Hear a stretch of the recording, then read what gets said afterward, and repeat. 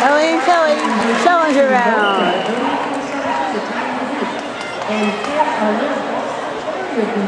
This is. And certainly a sprightly little competitor. Oh, but unfortunately, the belly got wrong. And really too excited. Really enthusiastic though, so you gotta beat Ellie that. And Kelly certainly knows that she did have to give it all last year to get that medal. But sometimes speed, as we know, comes at risk of a lot closer to this contest. Nice making there from number 12 by Kelly. And then he's doing a nice job in the second part of his course. And he's still goes right that inside.